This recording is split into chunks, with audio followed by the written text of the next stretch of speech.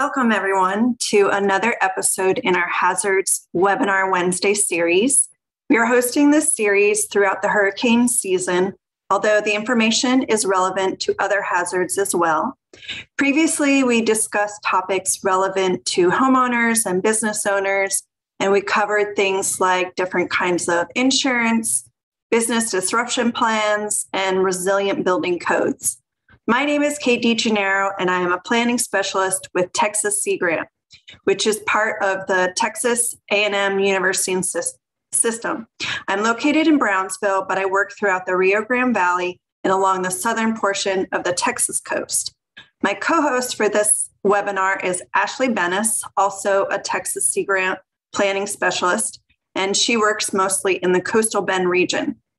This series was born out of some conversations about becoming a first time homeowner, how to determine your hazard risks, and how to find wind and flood insurance. This particular episode will be geared a bit more towards community officials and government staff, but we think homeowners and business owners will be able to learn a little bit more about the post disaster recovery process as well. The disaster recovery period can be quite overwhelming, and this is probably obvious to anyone who has been through one. If you have not been through a disaster, you might not be able to imagine the many steps and tasks and decisions that have to be made. So, we invited some speakers from different agencies to get you thinking about how you can prepare for the recovery period before a disaster even hits your community. As Jim Olk says in his presentation, it's not a matter of if a disaster strikes, but when a disaster strikes. Although we hope it won't happen to our community, it is important to know what to do when it does. Before we get on with our speakers, I just want to say that this webinar is being recorded and we will send out a YouTube link to all the attendees once we have it ready to go. We will also post the YouTube video on our Facebook page. And now I'll pass this over to my co-host, Ashley Bennis. Thanks, Kate. That was great. Um, hi, everyone. Uh, I Before we get started, we have uh, great presentations coming up.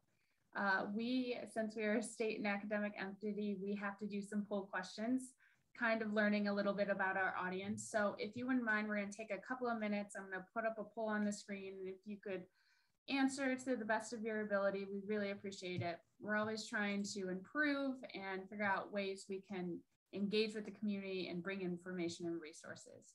So I'm going to launch the poll right now and it'll be just a couple of minutes.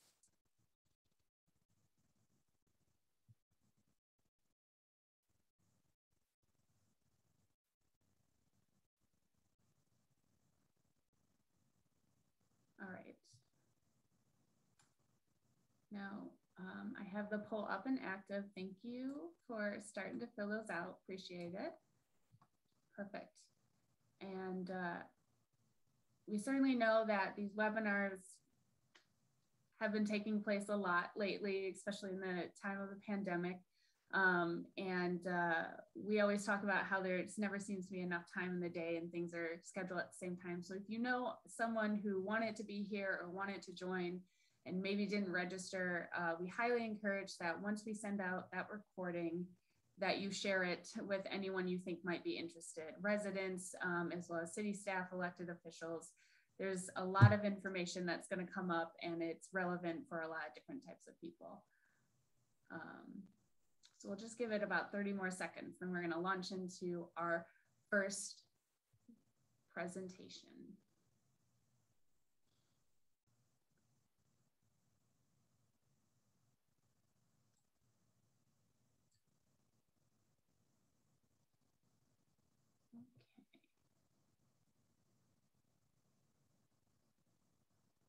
Excellent.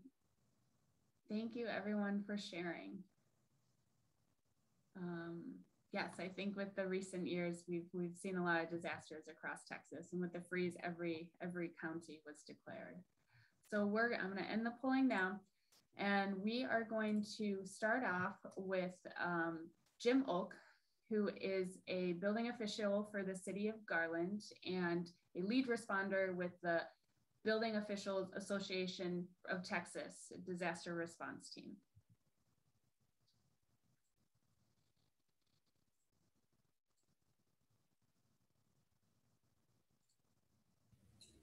Good afternoon.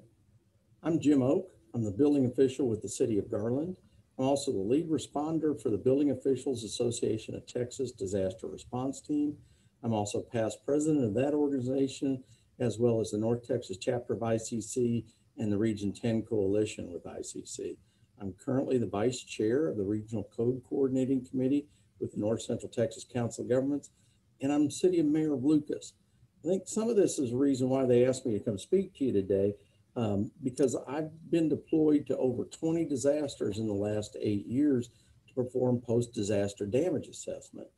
And I've also had three disasters here in Garland, uh, one flood and two tornadoes that I've been there from the time of the disaster through all the way through recovery. So I've got some very unique uh, perspective and some experiences uh, that I think they wanted me to share with you.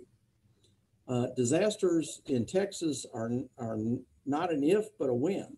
Um, you know, we've got all these disasters. We generally have some of the highest totals of disaster related damage in the nation every year. Uh, we have more potential for disasters in, in any given season and any given time than uh, the vast majority of other states in the union. So it truly is not a deal of uh, if you're going to have a disaster, but when you'll have a disaster. Uh, uh, one thing I really want to stress is disasters start and end locally. Uh, and you'll see what I mean as I go through. What do disasters impact?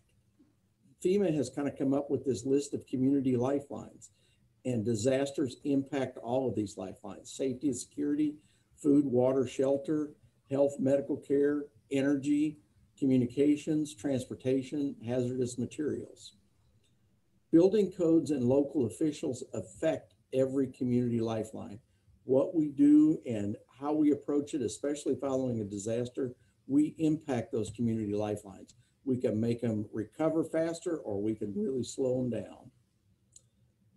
First, we want to make sure that your community is prepared. Um, as we talk about damage assessment, we want everybody to review their emergency management plan as it relates to damage assessment, the damage assessment annex.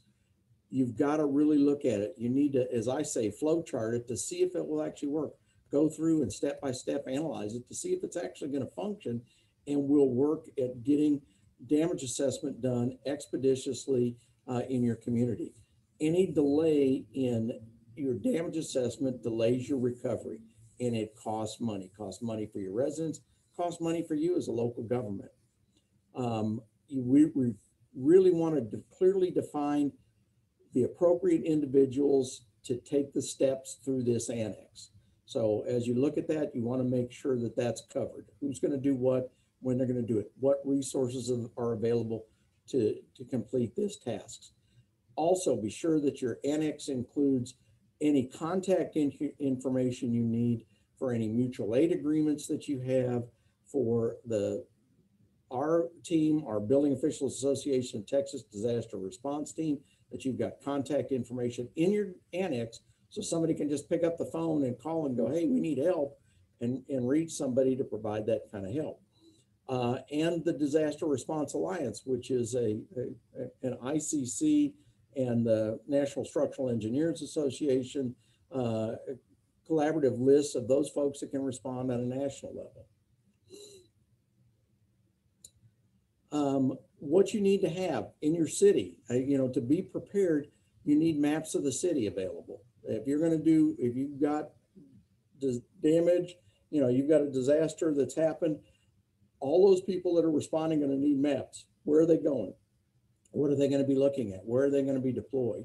Um, you'll also need evaluations, rapid safety evaluation forms, ATC 45. ATC is the Applied Technology Council. ATC 45 is the one for high wind and water damage. They have an ATC 20, which is for earthquake. Out of the 20 disasters I've done in Texas, none of them have been earthquake related. Uh, we don't really use those. We don't have the strong earthquakes like they would in California. And ATC twenty was the first one they came up with in California. ATC forty-five is kind of the spinoff from that. But uh, the Building Officials Association of Texas has taken that form, revised it, and in, it put a water depth chart, especially for flood damage that it was missing. Um, it's got a better scale for damage uh, percentage, and it's got a part for utility release because we're a bunch of, uh, you know, our response team is made up of architects, engineers, and building officials. The primary function are building officials and building inspectors that are municipal government employees that volunteer to come out and do that. We do get the architects and engineers. They'll, uh, uh, we partner with them and they do bring people out to help do those damage assessments, especially when we got the large ones where we need their expertise. But with that, we do have a portion where we do utility releases, which means we can determine, help your local official determine whether or not to turn power or gas or water back on to certain buildings and help them make that determination. Excuse me. Uh, also, what you need to have on hand are placards, the red unsafe, uh, the restricted use, and the inspected green placards. Here's forms of both. Here's the single sheet rapid uh, damage assessment, a rapid safety evaluation form, and the placards, the unsafe, restricted use, and inspected. If you need copies of these, please feel free to reach out to me. I can provide you an electronic copy that you can make and then print out. I'll tell you, you know, what kind of paper to buy and all that stuff. It, they, they're very handy to have. I've got stacks of them here at my office. Uh, part of that we talked about, you know, uh, initially when you, once you have a disaster, somebody needs to do a windshield survey and determine what the extents of the damage are, that they go from point A to point B and point uh, X to point Y, so that you know where your damage is, so that you know where people need to deploy and what areas are, are essentially damaged. You'll need to kind of get a gauge on how many buildings that you have that are affected, minor, major, or destroyed. Uh, in, those include residential and non-residential structures and critical structures, your government building, hospital, schools, uh, utility buildings. Uh, those they you need to know all that, especially from windshield survey, so then you can go into your rapid safety evaluation, which is truly your damage assessment mode. Folks that do the damage assessment really need to be trained responders. As I said, uh, the architects, engineers, your uh, local inspectors, they all need to have these trainings. The NIMS trainings uh, that are listed here, uh, one or one or of each of the any of the disaster response trainings from ICC when disaster strikes, or the Cal OES, which is the California Operation. Uh, let's see, Office of Emergency Services, uh, SAP training, Safety Assessment Program training. That teaches them what they're looking for, how to do it, how to fill these forms out, you know, how to do these things in rapid succession.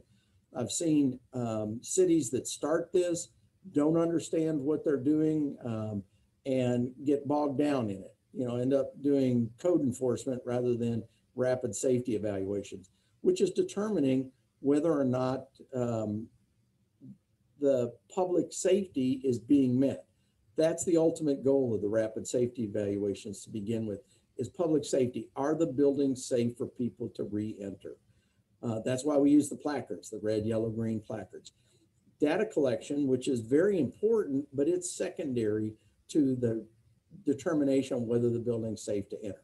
Now that as you go through recovery, which is kind of what we're supposed to be talking about, that data, having all that data collected on the front end when damage assessment is done is truly important. I can tell you from, you know, going through recovery, oftentimes I refer back to the initial data that was collected.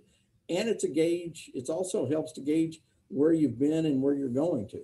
How much improvement have you made? How fast are you getting recovery uh, underway? And then what can you do to improve that? So the data collection is, is secondary, but collecting these the bullet points that are on the ATC 45 form will help you in determining where you stand and what that damage total is. Uh, your evaluators don't determine the cost for reconstruction, but you can easily glean that out of when you take the percentage value that comes off of, you know, what the percentage of damage is and what the square footage of the building is and what it generally costs to build, you know, structures within your community.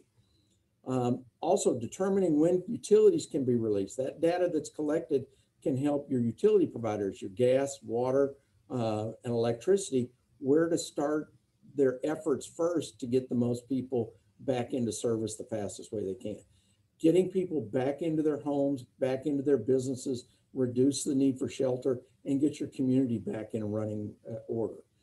Uh, in large scale events, you may need to determine if people can shelter in place, if somebody can move back in their house without electricity or without water, because you can supply, you know, water in a in a water truck out in the street and they can still flush their toilets, they can still do things, you know, that way, or you can provide bottled water for them to drink.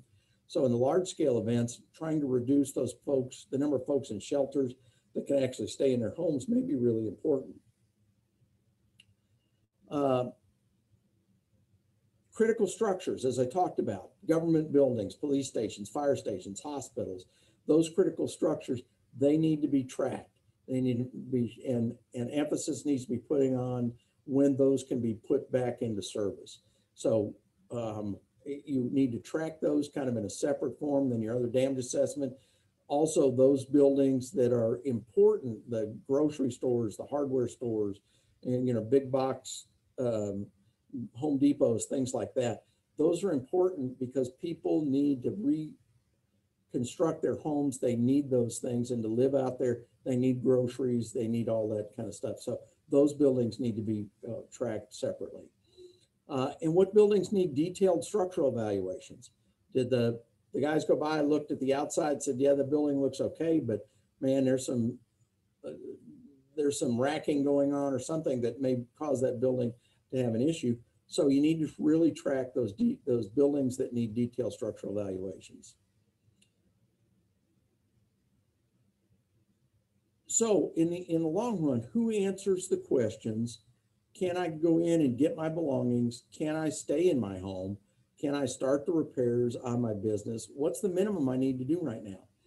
If you have adopted building codes, the building official generally assumes the duties regarding building safety uh, and usually is the most qualified person to make these decisions. It's the person that's been trained to understand the structural integrity of the building and what's needed for them, somebody to stay in that building safely. You don't want to put somebody in a building, you know, that's got a gas leak. You don't want to put somebody in a building, you know, allow somebody to stay in a building that may be dangerous where something could collapse on top of their heads. Although they may want to, it's not smart move for them to do that. So your local building official is that. The local legislative body, you know, your city council, your county commissioners may want to consider some things. The, first that seem to always want to consider is waiving permit fees. Um, I always suggest that you take time to consider that action. Most disasters, even here when we've been in Garland, um, we have not waived the permit fees because most of that permit fee is covered by insurance. So if 90% of your folks are covered by insurance, you're going to be able to recoup those expenses that you're expending, you know, putting those buildings back together as part of the city function, issuing the permits, doing the inspections, meeting with those folks out there, letting them know what they need to do, how to get those buildings back, put back together so that people can live in them. Um, it, it, sometimes it's a, a, a PR event you know, to waive the permit fees, but you may be doing more harm than good when you look at long term, especially if you have to go out and hire outside contractors to come in and do that work. Now, uh, FEMA will probably talk to you about some potential grants uh, that are available to kind of recoup some of that money if you end up spending it. But that's if you get a federally declared disaster. If you don't have a federally declared disaster, you really need to think about what that overall impact to your uh, fiscal well-being is, is if you waive permit fees. Always encourage the permitting and inspections. If you aren't doing, there are, I mean, I'm gonna jump to this one because it's a little out of order. When you have construction standards, you need to look at those. The building may have been constructed to a different standard. So if you don't require your permits and inspections, you may not be ensuring that that building is being built back correctly if the lumber spans, I, I mean, this one has changed, Lumber spans have changed. They don't span as far as they once did. You know, a two by six won't go as far as it once did. So in an older house, they may have had two by six for ceiling joists holding it up. Now the spans may have changed and two by six may not be strong enough to hold up those loads. So um, requiring building permits and inspections and looking at the standards that you currently have and making sure that those buildings are built to the newer standards.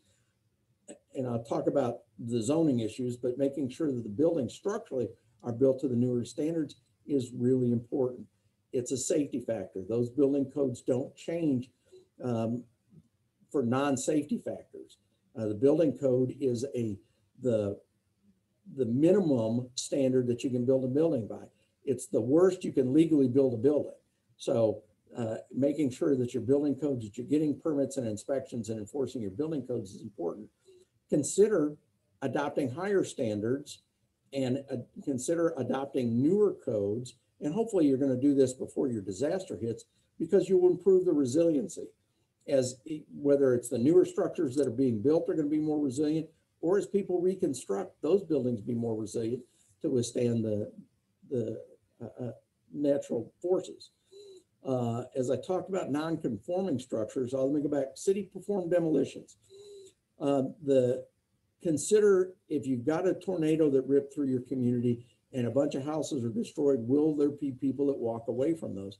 And are you as a city going to be responsible for tearing those buildings down? And that coming out of your budget and your expenses.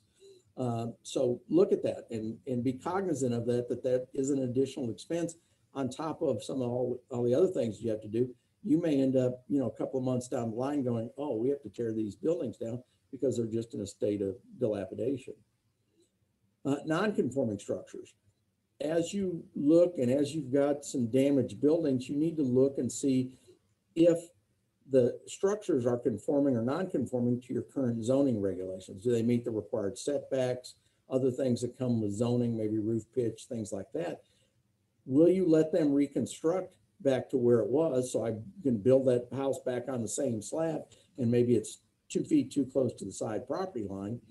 Um, whether or not, you know, they're, you're gonna require them to go before your Board of Adjustment or City Council to determine they can reconstruct a non-conforming structure. Or if you're gonna make them demolish the whole thing and build the whole thing, you know, in conformance with your new code. Most cities, they've got a kind of a 50, 60% rule. If it's more, it's destroyed more than 60%, it has to be constructed back in conformance with the existing, your, your newer codes. So think about that as you go forward. I don't know if there's a right or wrong answer. It depends on how fast you want people to get back in their buildings in a long time. Uh, you know, in the, in the, when you look at that big picture. Um, structures with substantial damage located in the floodplain. You need, generally, if you're part of the, uh, the flood insurance program, it requires that if you've got a building that's substantially damaged, that that building either be demolished or when it's reconstructed, that you mitigate those, that being in the floodplain. So that you'll either have to elevate it or provide flood venting or other things that can be done to mitigate that flood damage. So that the next time the flood happens, you're not in the same place of having to rebuild that building, strip all the sheetrock out and, and completely redo it. So, but my point is be sure you've talked about that ahead of time, where you're at and what you're going to do, because you may have an entire neighborhood. We had a flood here in Garland. The buildings were in the floodplain and some of them were substantially damaged. We had to figure out what to do with those, whether they had to be destroyed or if they needed to, you know, elevate that building, you know, up out of the floodplain.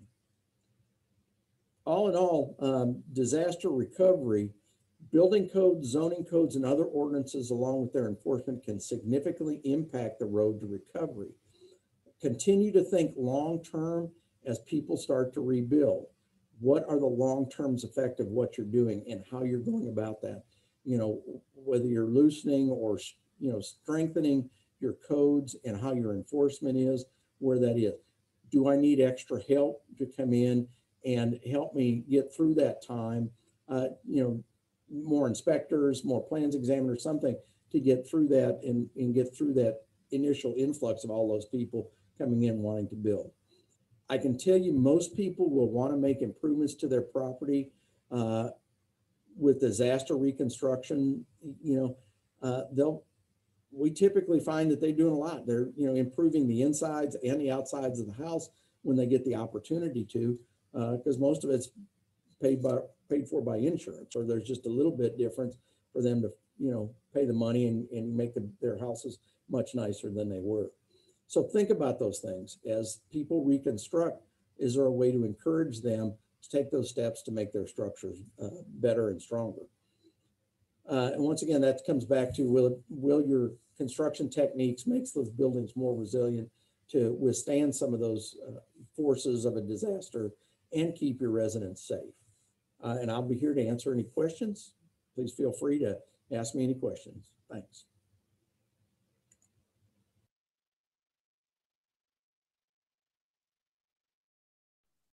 Perfect.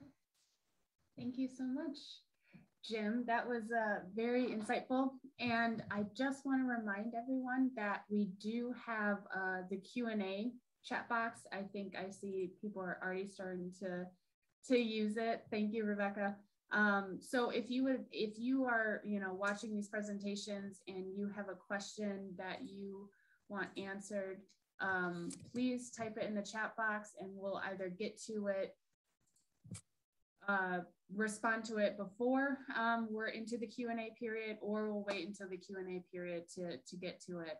Um, and uh, trying to think if there's anything else. I don't think so. Our, last, our next speaker is uh, Kenneth Bell with the Texas Division of Emergency Management. He is the unit chief in Disaster Recovery Task Force um, involved in that. And he's going to talk to us a little bit about damage assessment. And yep, let's get it going.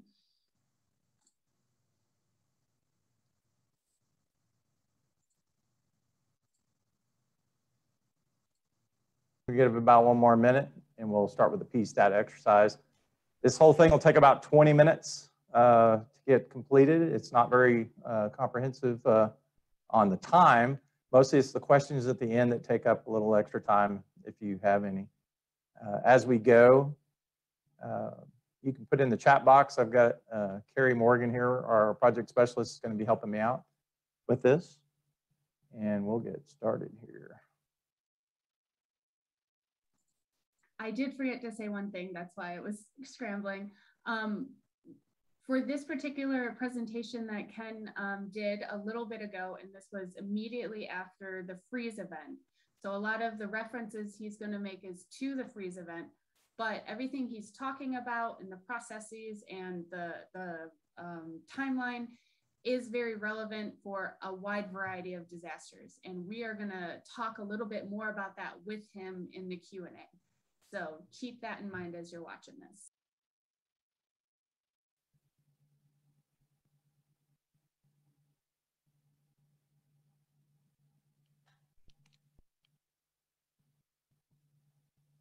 all of our technicians are running around doing the other things, so we're kind of uh, one person showing it over here.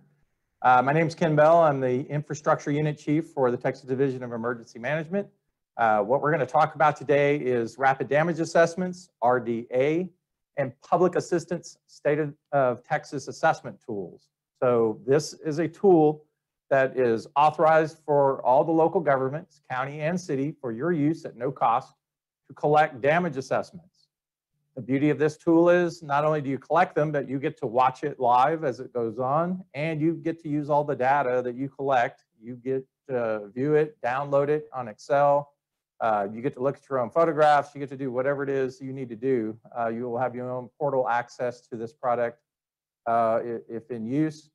If you're a subcategory uh, applicant, where you might be a smaller agency working through a city or county, you'll have, may have to go through that organization. Uh, The uh, counties all have their own access portal now. Some of the larger cities, and that's up to 30, gr- uh, uh, 30,000 at this point, seem to uh, have access as needed, and we kind of work with people if necessary. Uh, We're going to talk about the sequence of events for this training. Uh, We're going to talk about uh, how the disaster unfolds. It won't take very long, and where this plays part of that process. We're also going to talk about RDA on both the IA, which is individual assessment, and PA, which is public assistance. Uh, There's a lot of acronyms that get thrown around. I will try not to uh, do that, even though it's, uh, uh, seems to become a standard operating procedure, but ISTAT, Individual State of Texas Assistance Tool, uh, Assessment Tool, sorry. And we use it for individual assistance is why I fell into that. Same thing for PSTAT. It's Public State of Texas Assessment Tool for public assistance. So uh, what we have found is these tools are real quick at turning around our damage assessments and getting us extra categories. And we'll talk a lot about that. Teams, formulation of your damage assessment teams. We're going to talk about this product, uh, 123 uh, platform and ArcGIS, how FEMA is virtually validating things, and the PA and IA platforms and or the, the, the grant programs at large. In front of you is a QR code for getting back to the uh, performance grant uh, baseline documentation and some other products we have available for you if you want them. I'll show that again at the end. So why PSTAT and why now? Uh, What we have found with the massive impact of this winter storm is we have a 254 county declaration of disaster. This is only the second time in my career of 35 years where that's happened, where every county in the state of Texas was declared. The other time was COVID-19. COVID-19 has also posed another problem for us where the, our FEMA partners are not in a position to come to the field and deploy like they historically have to help with damage assessments. Generally, what happens in any case is that a local will have to identify something's broke in the first place before the state and federal partners come out and identify and validate that that damage is actually damage from the event and eligible for the grant program. In this case, we're using virtual validation using your uh, site location GIS, this ArcGIS project product we have for you, uh, photographs, and who you are, what organization or applicant name you might be. So instead of uh, running around in a white van that we used to do back in the day, which wasn't that long ago, uh, we're using this virtual validation. Sequence of events, we've ha already had our disaster, we've already responded. Now we're down to the point where we have to uh, uh, identify or do the rapid damage assessment. Most everybody on this uh, video chat right now have already completed that and already know what your damages are. Uh, and that's a good thing. This product can be done at your desktop. You don't have to use a phone. You don't have to run around town to do it if you have the data already collected. Uh, we'll show you how that works uh, fairly straightforward. Uh, you see the next arrow, the region, that's where our regional partners would come in, our assistant chiefs, district coordinators, and our regional uh, recovery officers will come and help you out if necessary. And we conduct what's called the state PDA.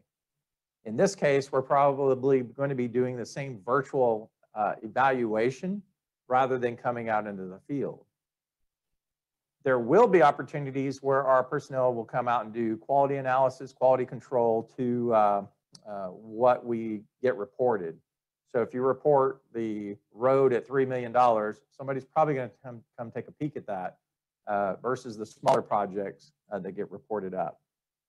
And finally, the uh, joint PDA along with the federal partners, again, all virtual as much as we can get done to limit the amount of personnel having to go out into the field. So this product and this rapid damage assessment, the entire purpose of what, why we're all sitting in this uh, uh, online chat or this online training is to get more categories. There's a big misnomer out there about what has already occurred.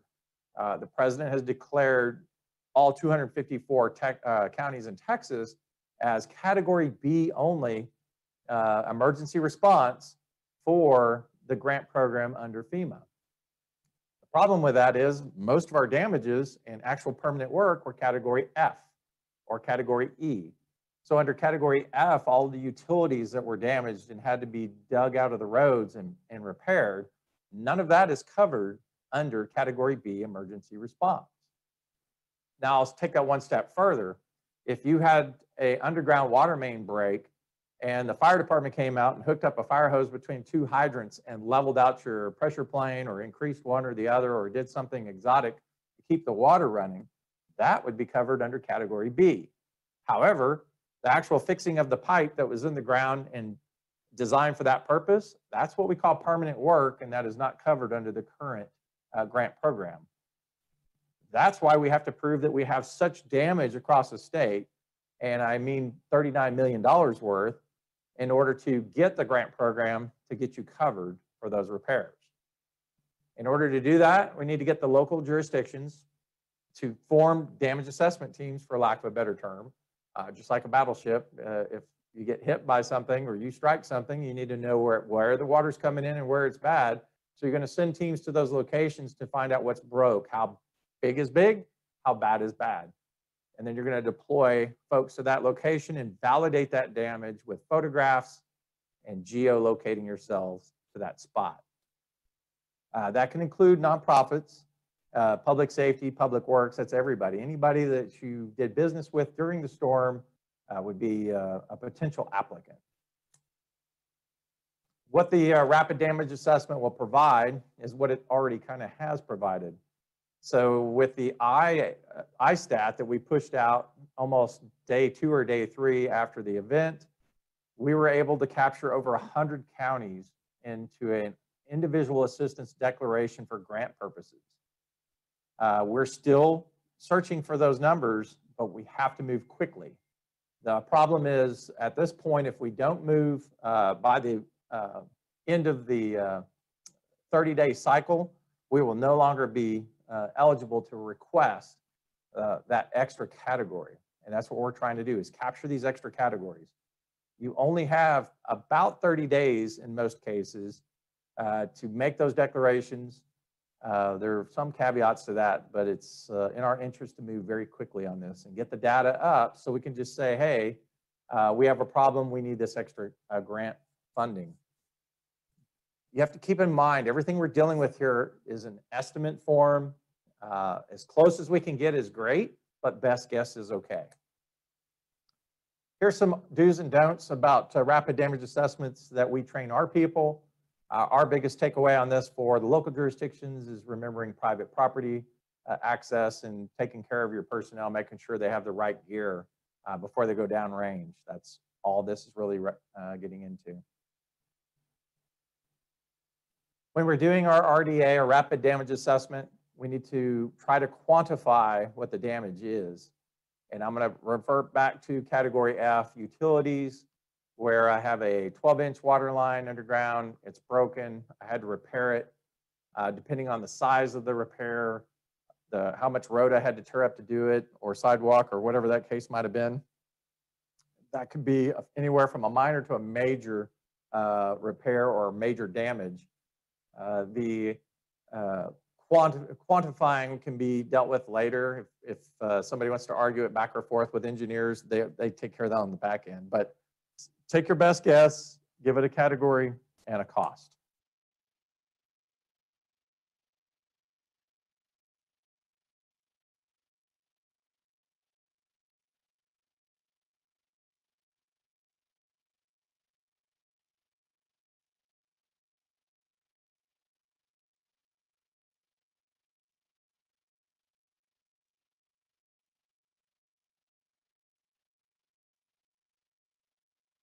Pretty straightforward. It gives you two opportunities. You can do it online, like this right here with the browser, or you can download the product and open it on your phone itself.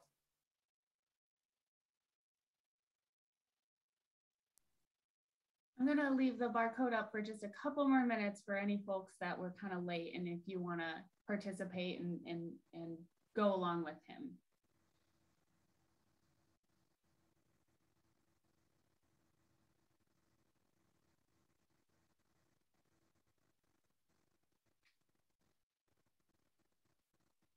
Okay.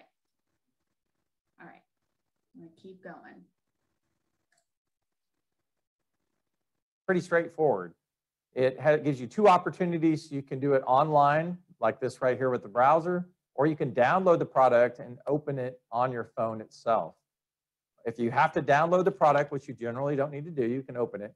But we give you that ability if you're in an area that doesn't have good cell coverage. Once you do get the product open, preferably in your browser, It'll use your GIS on your phone. And as you see, just pop down here and it's locating exactly my spot in Austin, Texas right now. It'll even populate my address. But if you have to do this from your desk, for example, you'll have to put in the address and you might have to scooch that little dot around uh, on top to get it to the right place. It's important we geographically locate where the damage is that you're talking about. That's the whole premise of this tool. Then I went ahead and listed my damage type. And I'm starting to go through the list of questions. It's pretty straightforward. Uh, the biggest things that we have to get is who you are, where you are, what is broken, and how much you estimate that the cost was to make the repair.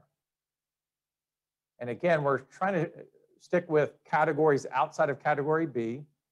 You can do all of your cat B in here if you'd like, uh, but it's, uh, um, a we've already got category B. We're trying to capture as much as we can. Uh, anything you can add to the big number is great. We have to get to $39 million and we've got a long way to go. So the state has to reach a threshold of 39 million. The local jurisdictions have to meet their threshold. And if you geologically locate as necessary, that helps each jurisdiction uh, accordingly or respectively. Here, I'm putting in the actual damages and I have to explain what happened in this case. And I'm doing this off my computer desktop. And what I'm showing you is what you could draw off of a invoice, for example, or a work order ticket. It's uh, damage to an underground line due to freezing. It's a C900 DR14 pipe. Got frozen. It's broken. I have to fix it. So there's no emergency work per se in this, even though it was an emergency and everybody else thought it was an emergency, but it's technically permanent work under this grant program. These are the tools I use, the trucks, the people, as much as I can get in there. Well, what you're about to see is that I, uh, and I intentionally did this so you can see what happens if you put in too much. It'll red out on you. Well, I'll let you go up much further and you have to back out some of the data.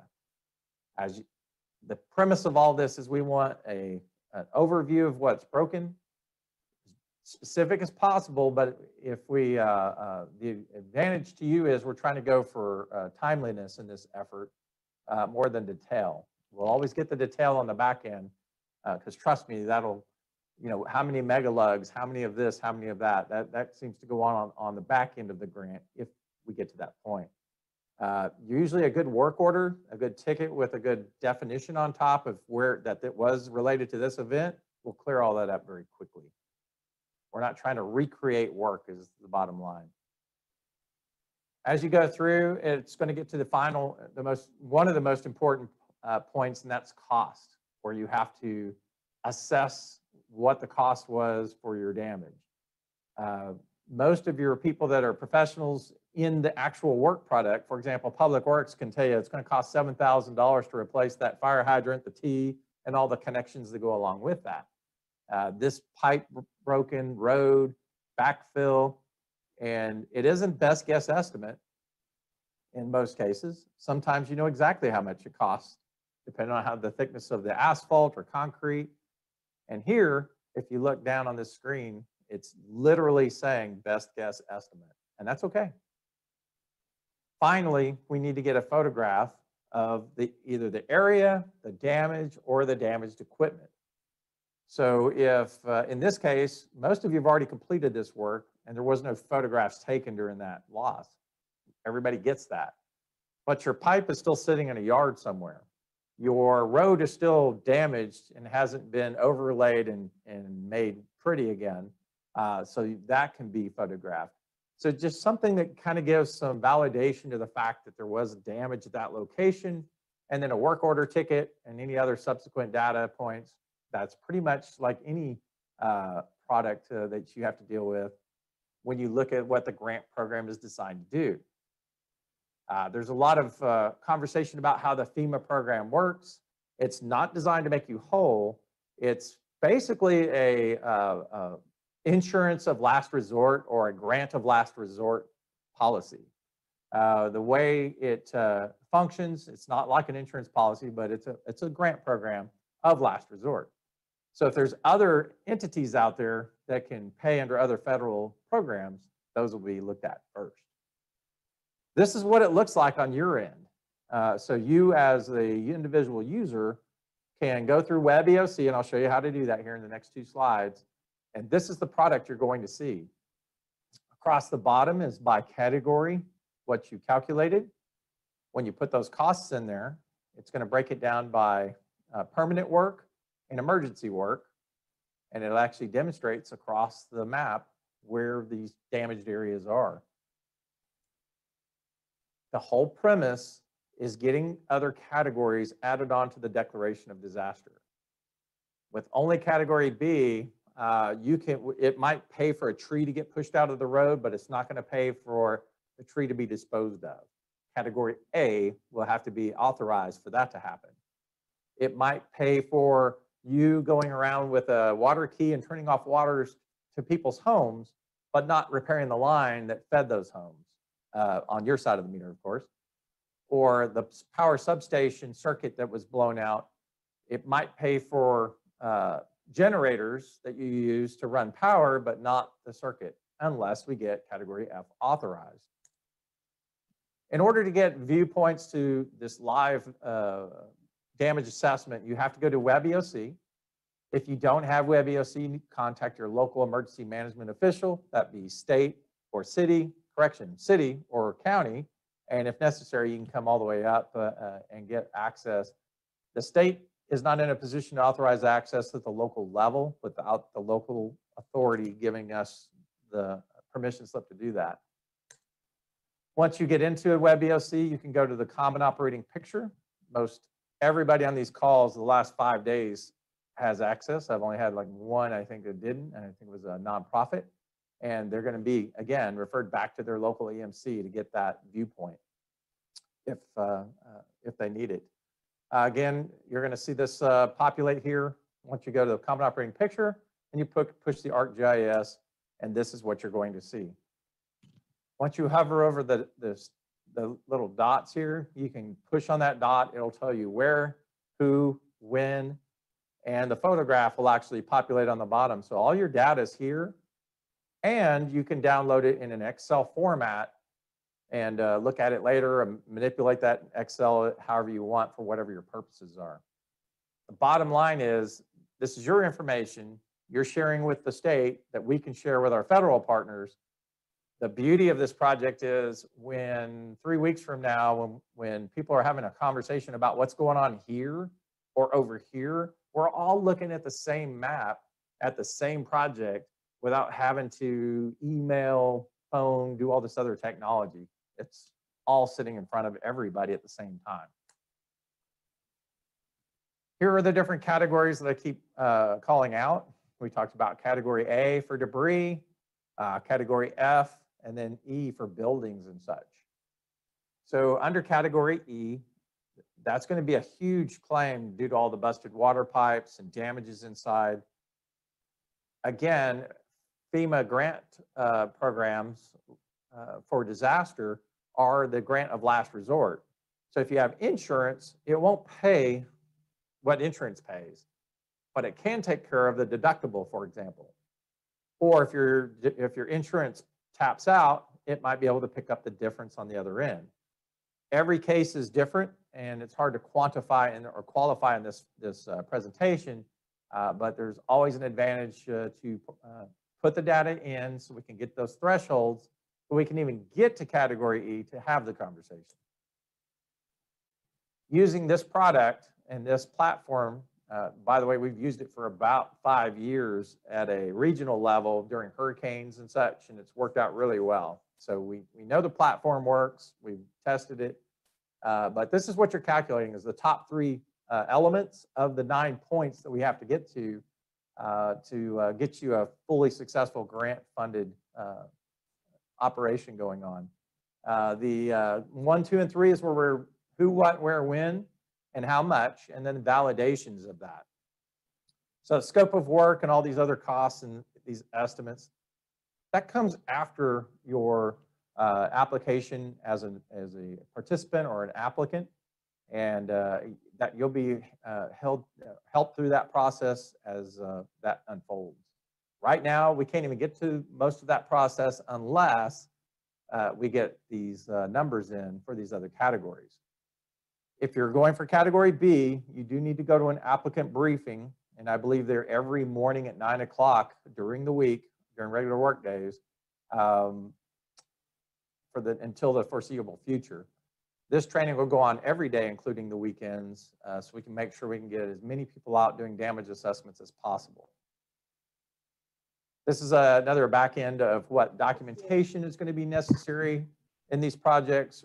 Uh, Not today, obviously, not next week, but if we get the category authorized and they say, okay, we're successful in category F, they're going to want to see these photos, which you already have. They're going to want to know where, what you already done, those top three items.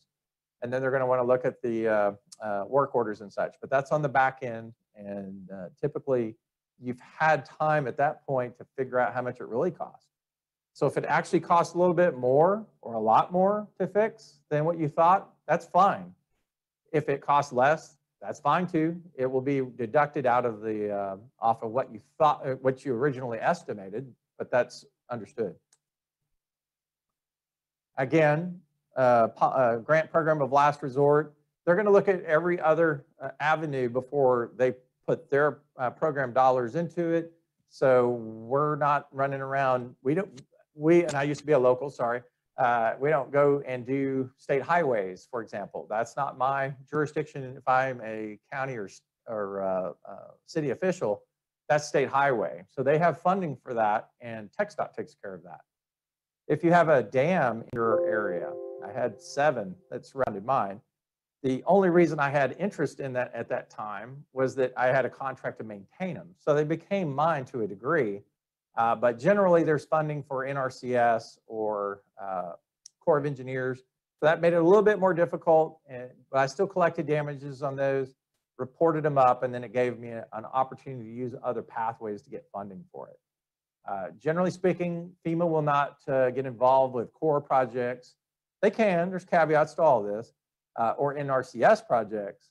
Uh, But you need to know what's broke and how bad it is. That's the whole premise of DSOs and P- uh, PSTAT and why we're trying to achieve all this.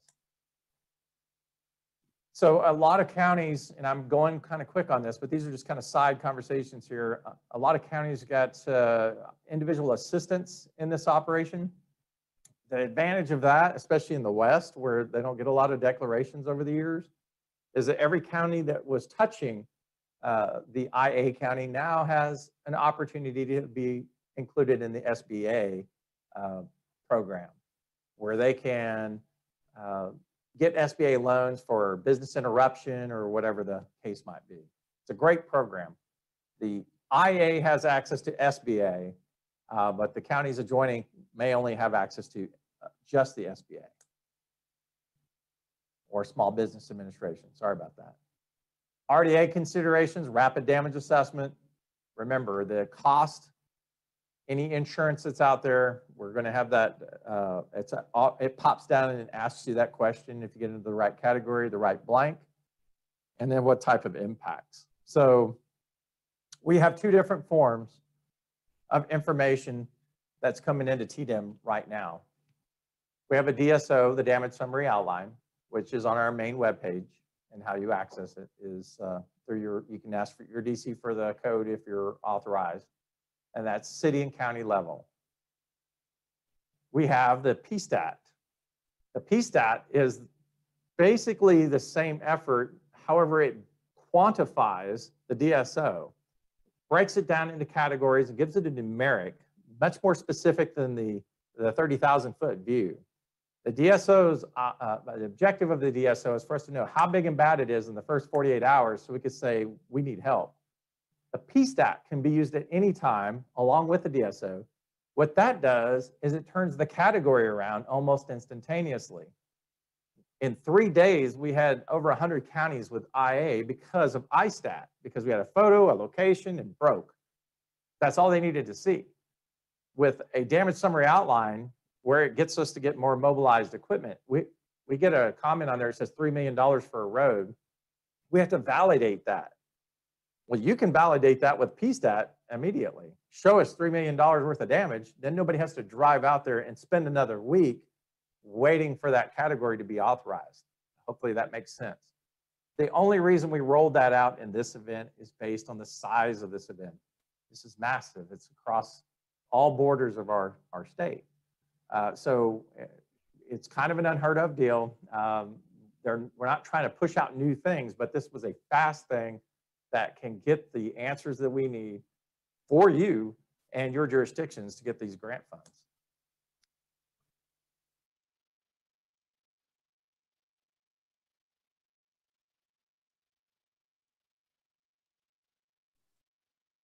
Right. Let me stop sharing. There we go. Thank you so much. Um, Ken, that was really informative. Um, and um, in the Q&A portion, hopefully we have some time to get to it, but I know that some of the issues and um, resources post the winter storm is still ongoing. So maybe we'll get Jim, uh, Ken to talk about that a little bit. Um, our next person, and again, Q&A box is blowing up a little bit. And thank you so much, Rebecca, for kind of getting that going. Um, feel free to answer any, uh, answer, ask any questions at any point.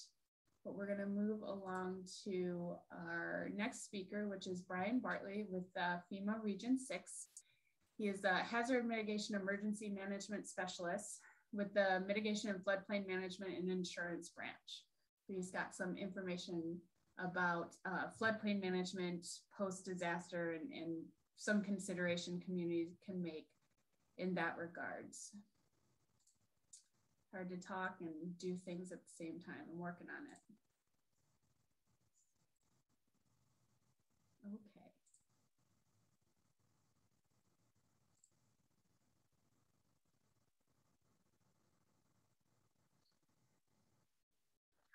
everybody. My name Brian. I'm with FEMA Region 6 in Texas. And my job there is to um, work with community officials on um, implementing their flood damage prevention ordinance or order, depending on whether they're a city or a counts, uh, county. And um, in many cases, that's also um, part of their uh, codes and standards for the community. And in our last session, uh, working with uh, Gilbert Giron, our uh, regional flood insurance liaison, we uh, discussed some questions and answers related to the National Flood Insurance Program and building codes. And one of those was uh, what is the, the difference between a uh, regulation and a code? And I thought after our last session, it'd be appropriate to do a bit closer examination of how FEMA and the National Flood Insurance Program are utilizing building codes and expanding a bit more on the differences uh, between uh, National Flood Insurance Program minimum regulatory standards or regulations and building codes. So let's get right to it. The National Flood Insurance Program technical bulletins have been around for a long time. Traditionally, they've been used by local officials of NFIP participating communities to ensure that the construction methods and practices used would result in a structure that complies with program minimum standards established by the NFIP regulations. More recently, and in keeping with FEMA's initiative to encourage the adoption and use of building codes for resiliency and development, the NFIP is incorporating information and references from the most recent consensus codes and standards, keeping the bulletins current and aligned with the latest concepts and advances in building sciences. There's also a fact sheet uh, found at the FEMA Building Science Branch SharePoint site that gives specifics on how several of the NFIP technical bulletins were updated on March of 2020 to reflect the changes needed to modernize and streamline their content and presentation. According to this fact sheet, the technical bulletins received updates. The updated technical bulletins will be uh, will incorporate relevant information from the latest international codes and American Society of Civil Engineers standards, provide updated guidance and best practices observed from post-disaster assessments, and uh, update known issues based on input from a wide range of stakeholders. These changes are intended to improve the technical bulletin's usability, credibility, and content while presenting them in a streamlined format.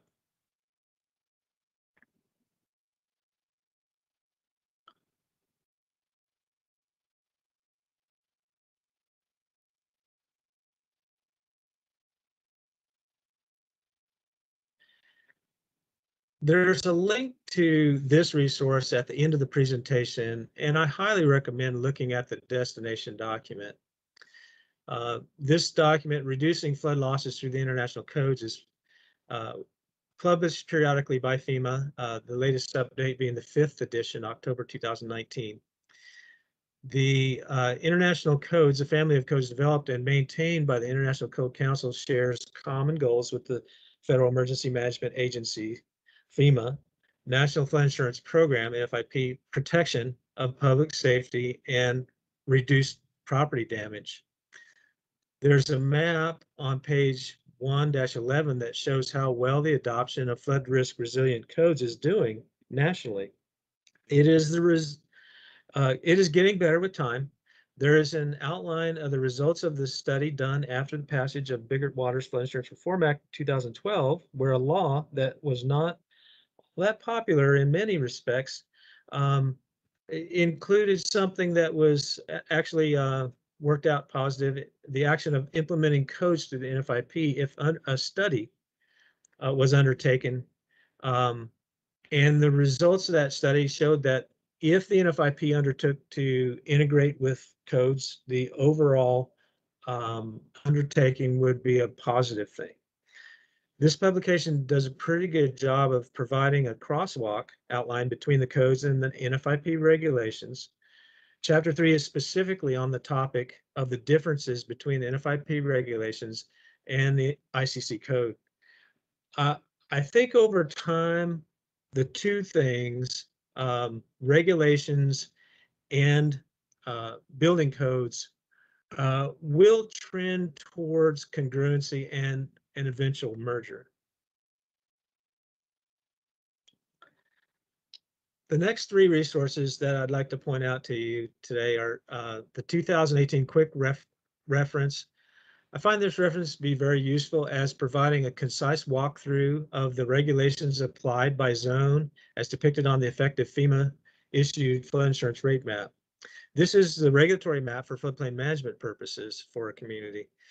For each zone, this quick reference resource shows how the consensus codes apply. FEMA has determined that the flood provisions in the 2018 edition of the international codes meet or exceed the minimum NFIP requirements found at 44 CFR 60.3, the regulations. In some respects, the IRC and IBC and the ASC, ASCE 24 expand on requirements of the NFIP regulations with more specificity, additional requirements, and some limitations not found in FIP regulations. This correct reference guide includes illustrations with references.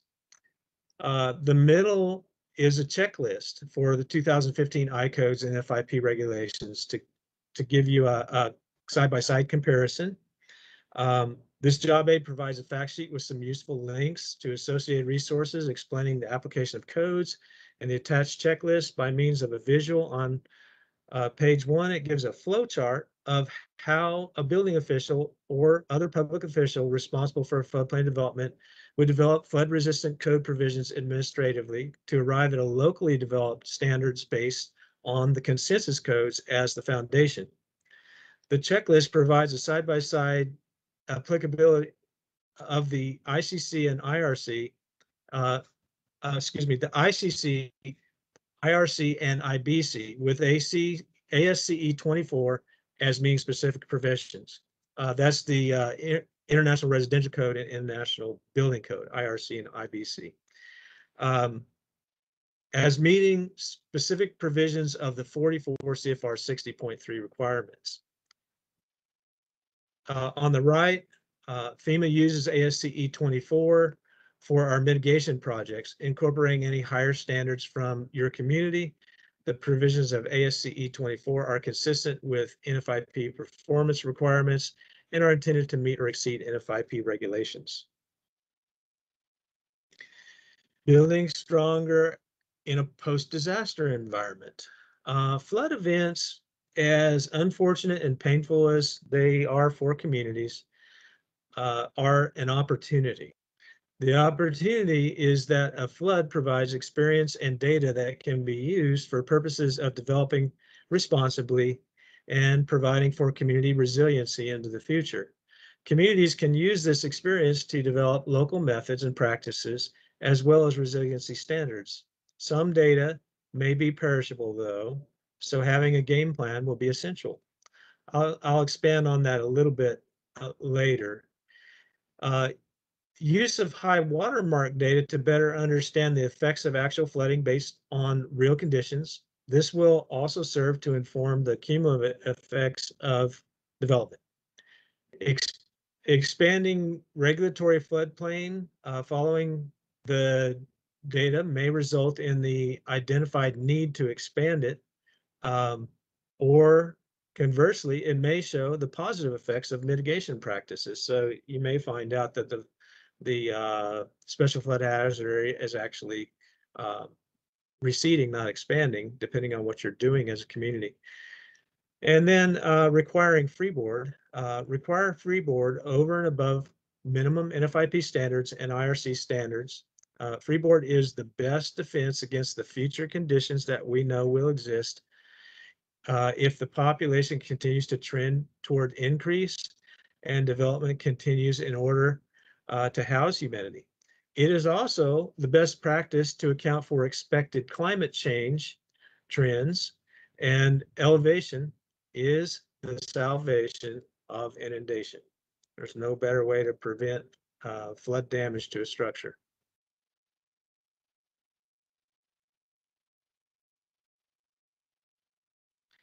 Here's a couple of examples where communities have used this approach and developed um, uh, ways to locally implement codes and standards that they found applicable to their community. The city of Houston, after the devastating effects of Hurricane Harvey in 2017, tax flood, tax day flood in 2016, and Memorial Day flood in 2015, um, the city's uh, floodplain ordinance was updated to make sure this the city had more was more resilient as it rebuilt.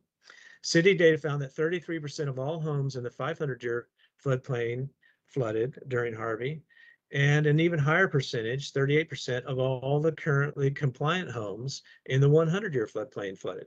So they asked what was happening. Uh, quoted from the report, data drawn from, among other sources, the Greater Houston Builders Association, the Houston Housing and Community Development Department, the National Flood Insurance Program and FEMA estimate that the cost of newly constructed homes of complying with their new requirements would range from 11,000 to thirty-two thousand dollars, uh, while savings from avoided flooding costs would range uh, from fifty thousand to many hundreds of thousands of dollars. The benefits uh, from avoided risk to first responders, emotional trauma, health impacts, economic impacts, and many other consequences of flooding were not quantified in this study, but they are assumed to be significant, and I'm sure many of us understand that. Uh, Horry County, South Carolina, after devastating flooding from 2018's Hurricane Florence, citizens pushed the county council uh, to pass higher freeboard requirements and safeguard critical facilities uh, by not building new ones in the 100 year and 500 year floodplains or 1% and 0.2% chance floodplains respectively. These are examples of how a community using the known effects of flooding from actual flooding events to develop local standards for risk reduction. And in both cases, not just work within the FEMA identified regulatory floodplain or special flood hazard areas. Uh, yes, ultimately, a community is best equipped by virtue to proximity to the event and recovery to develop the higher standards based on the foundations or reg regulations, codes and standards and risk identification sciences.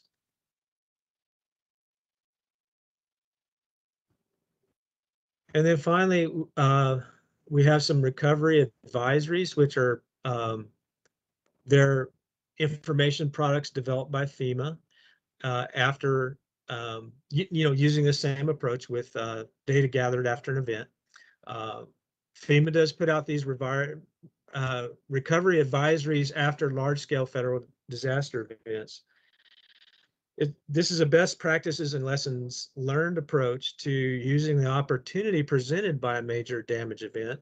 We see here that FEMA's hazard performance analysis teams gather data after an event and apply it to the questions of how to build better and stronger to avoid damage to property and loss of life.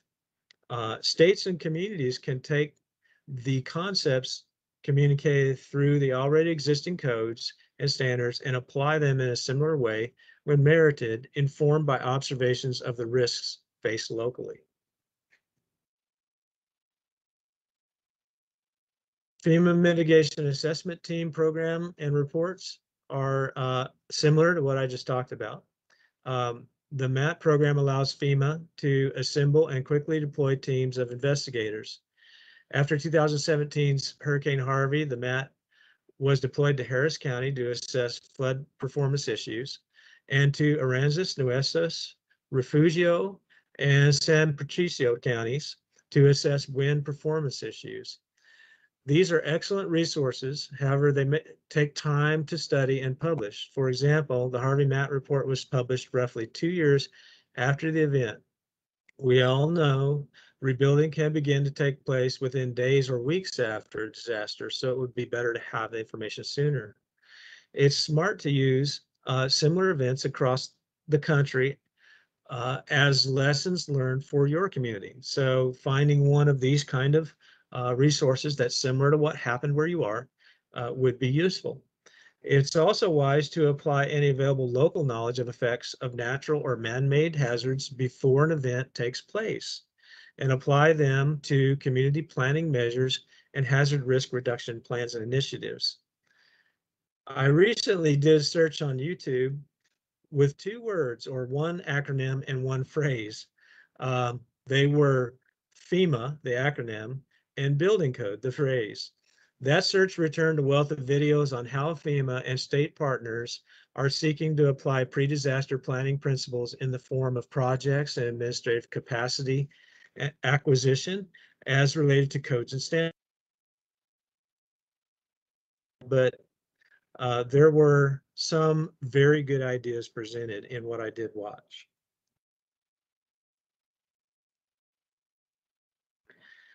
And that brings me to uh, post-disaster uh, immediate aftermath topic that's um, oftentimes a difficult one. Substantial damage uh, and reimbursement and mitigation funding. Uh, communities should plan now for post-disaster response, including having a substantial damage plan. How, how are you going to do your substantial damage determinations and administer the permitting requirements of that and the uh, the code enforcement. Um, Disaster Recovery Reform Act, DRRA of 2018, Section 1206, may be able to provide FEMA public assistance reimbursement to your community for administering and enforcing uh, your building code and floodplain management ordinances.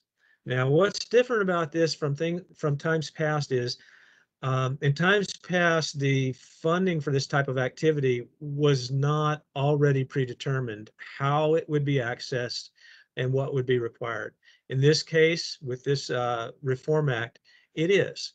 And so there's a resource at the on the last uh, part of this presentation, which I would encourage you to avail yourself of the information and understand how in your community you're going to implement processes to best uh, position your community to take advantage of this funding resource. Um, FEMA hazard mitigation assistance grants may be available for mitigating structures that were substantially damaged. For more information in Texas, uh, see the Flood Information Clearinghouse at uh, that uh, URL that's showing in the blueprint.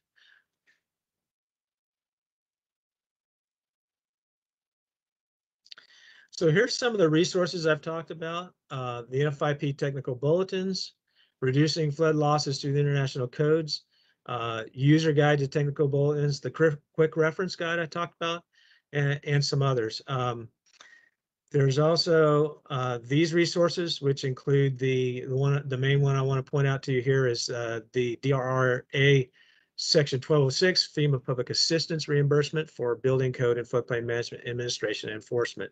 It's a very important piece of your post-disaster picture uh, going into the future. And then finally, uh, if you have any questions about any of these resources or would like to discuss them, uh, here's my contact information. Or if you, uh, you know, need other uh, resources available within FEMA that I might be able to direct you to, please feel to feel free to reach out.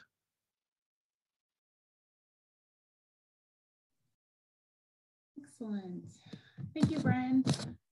Really appreciate that. And um, on the previous webinar, we had part one for uh, the Building Stronger. We talked a lot about resources before, uh, resources and steps to take before disaster that communities can help their constituents and the residents prepare and um, really take those steps uh, to make sure that the recovery process is a lot shorter. So we had some information from the ICC and some information from GLO actually about funding programs. So we will be sharing that link shortly in the chat box uh, so that you can have access to it, but got a great wealth of information. And now I'm going to transition over to our last presentation before the Q&A. Um, so our next presentation comes from Julie Shiyou-Woodard, uh, President and Chief Executive, Executive Office for Smart Home America, and Alex Carey, who is Fortified Market Development Manager at Insurance Institute for Business and Home Safety.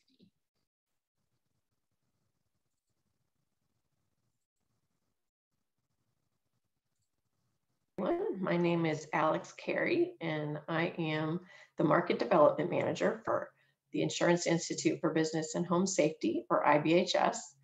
And I'll be presenting today in coordination with Julie Shiyou-Woodard from the President and CEO of Smart Home America, who will be presenting after me. Today, I'm going to talk about the Fortified program. Um, we do have a Fortified commercial program, but today I'm going to be covering Fortified Home, which is appropriate for residential um, single family construction and um, the multifamily is all under fortified commercial. So I'm going to dive right in and first tell you about the Insur uh, Insurance Institute for Business and Home Safety.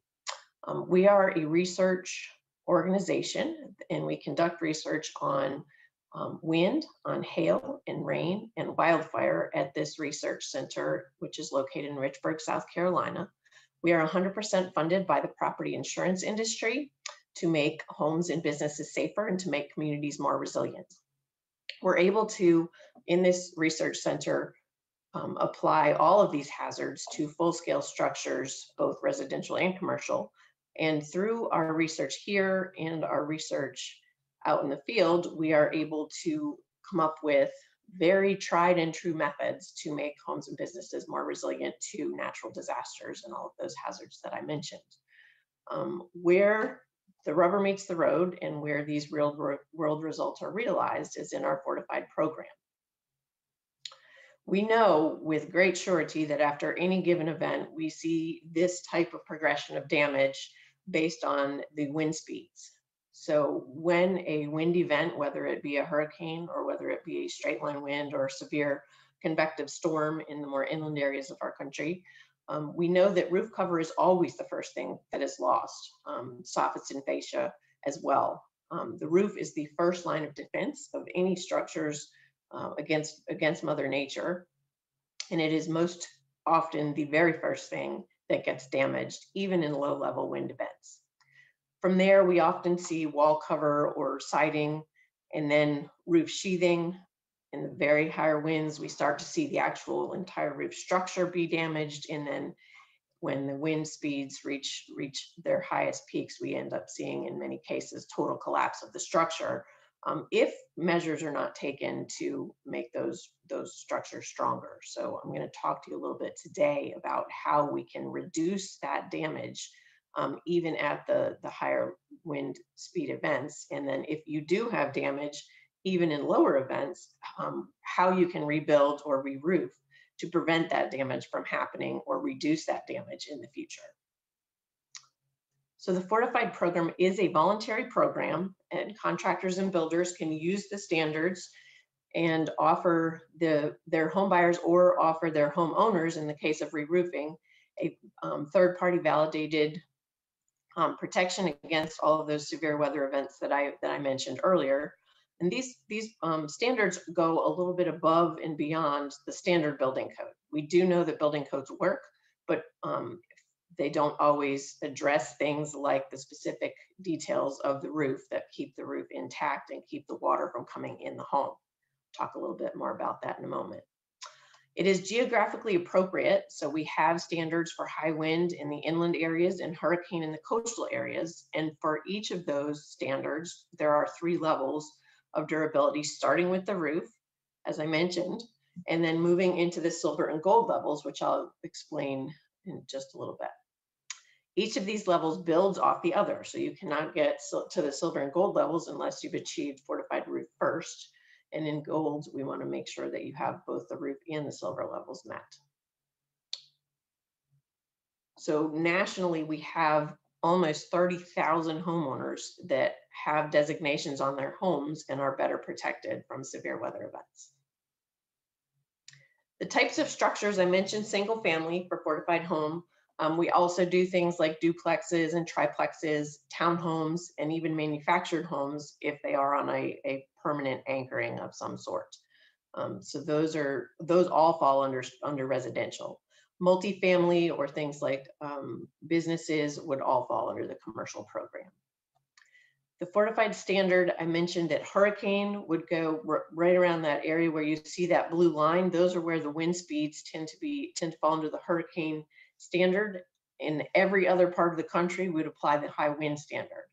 The hail is actually a supplement that can be applied to either hurricane or high wind, and that can be utilized in any part of the country and would be an add-on um, which specifically would be related to using an impact rated shingle or impact rated roof cover.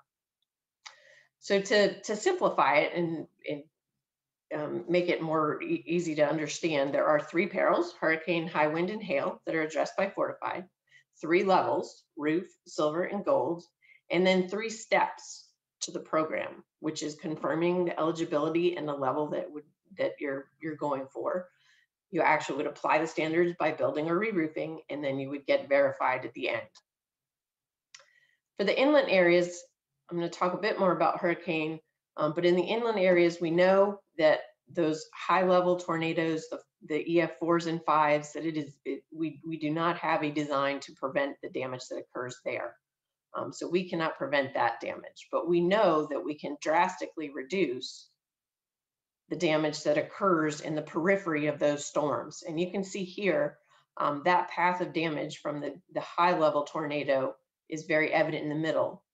But all of that damage you see in the periphery where those roofs are damaged, we know that we can prevent that type of damage. I do want to mention that with Fortified, we're not talking about keeping um, damage from occurring at all, but we are reducing, drastically reducing damage so that you're more quickly able to um, rebuild or re-enter that structure, um, repair that structure and move back in more quickly or without any disruption at all. We did do a, a, um, a water intrusion test in our research facility where we applied high winds that blew the roof off. On one side, we had what we call a sealed roof deck, which is the seams um, of the roof decking were, were sealed up with tape. Um, the other side, we did not have those seams sealed. The unsealed side had nearly $17,000 worth of damage when we did a damage estimate after the test. The side with the um, sealed roof deck was only about $5,500, which was essentially the cost to put that roof back on. The side without the sealed roof deck had damage, lots of damage inside where the water poured in. And you'll see, um, this was, this what, what was happening underneath that roof. You'll see that the insulation and the drywall were saturated. You see that wet couch, everything came pouring in. Um, and that's, that home and that family is going to be displaced for some time while they do the repairs. The other side with the sealed roof deck um, was completely dry and more importantly, livable.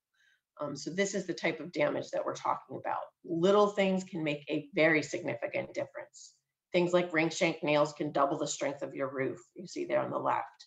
The seam tape can prevent the type of damage that I just showed to you in, in a, a vast amount of cost, um, as well as the cost of displacement. And then we also know that in the in the higher levels where we can put those hurricane straps in, um, that also can make a very significant difference.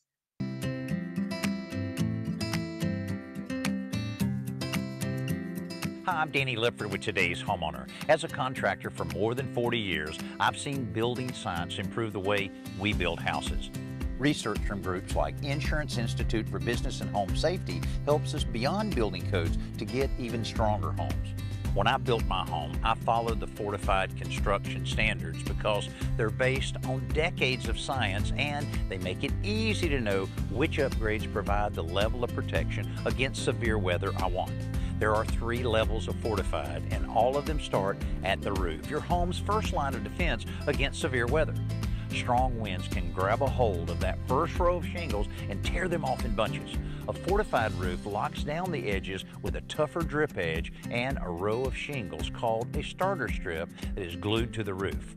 But you can still lose a few shingles, which would allow water to easily leak through the gaps of the roof deck and into your home. So Fortified requires roofers to seal those seams, stopping as much as 95% of the water from getting in, even if you lose a few shingles.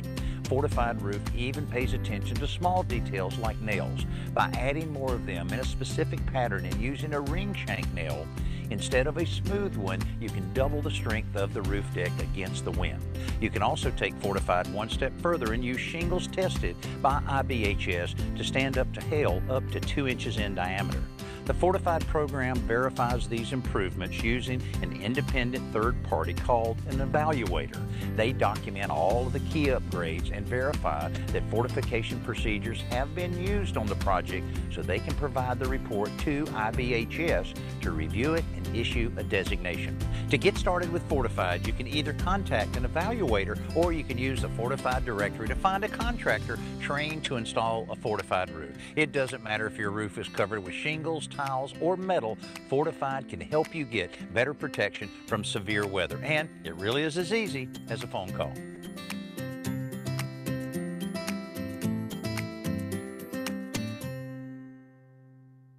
Okay, so Danny did a great job at covering the fortified roof level.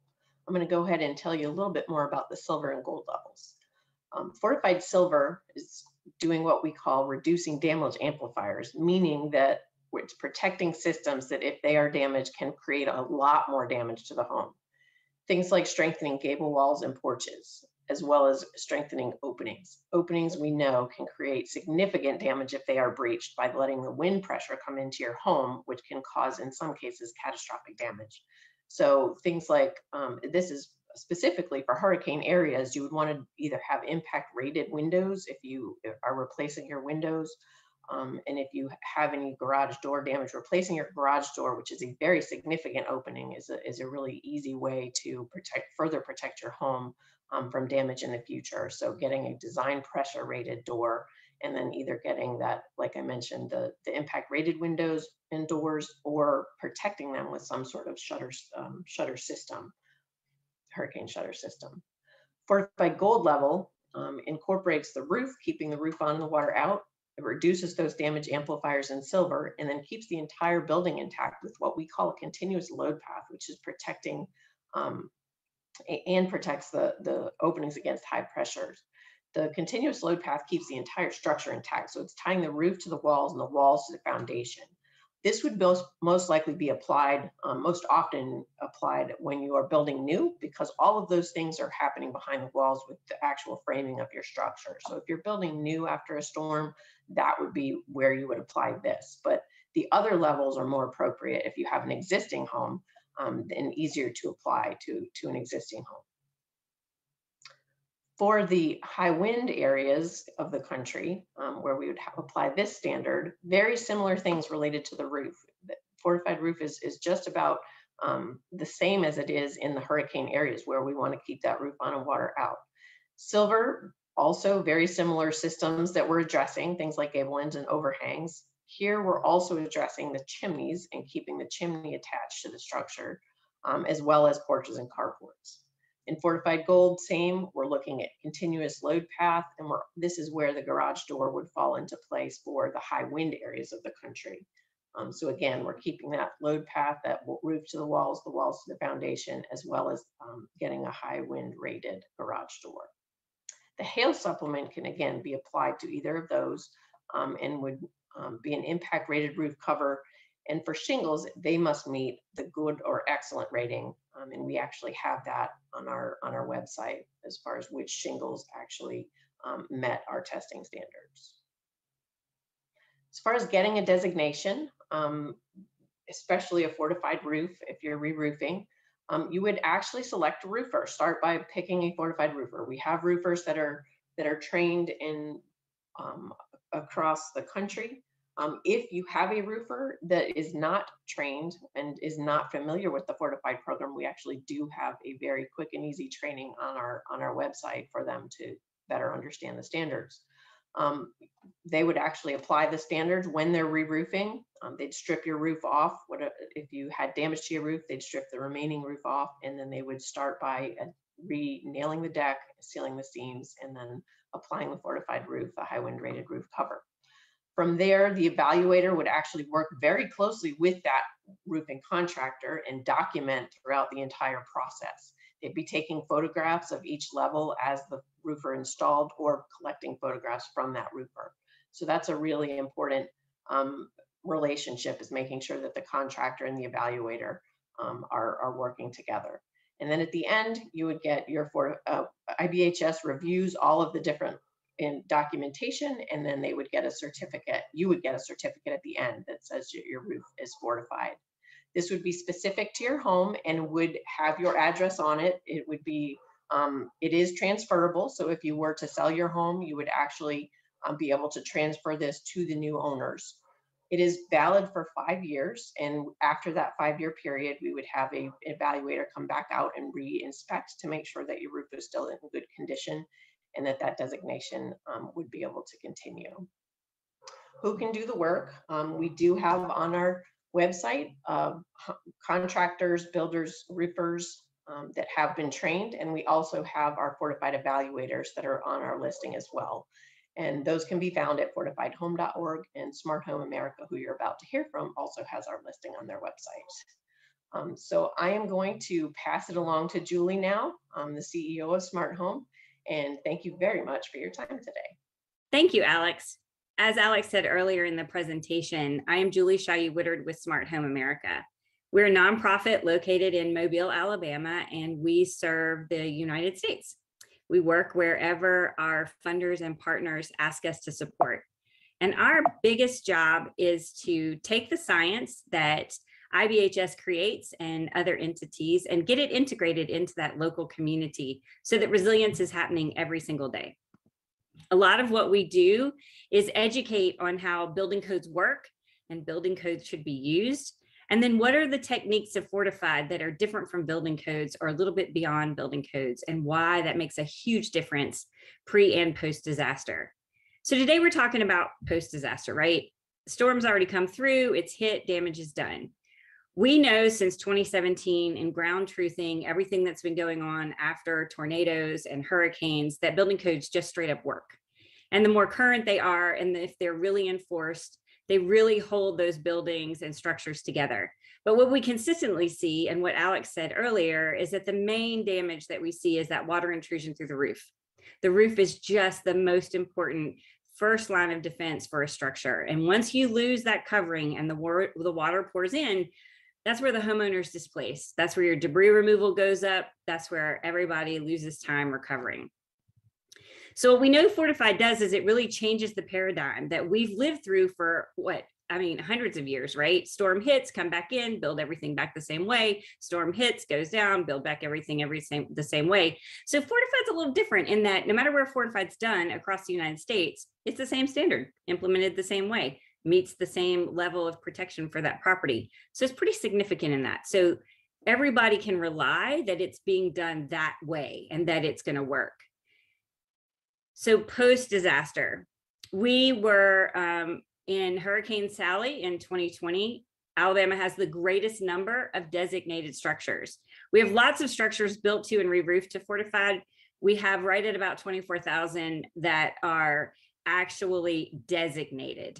And so the significance there is that they went through the first significant test.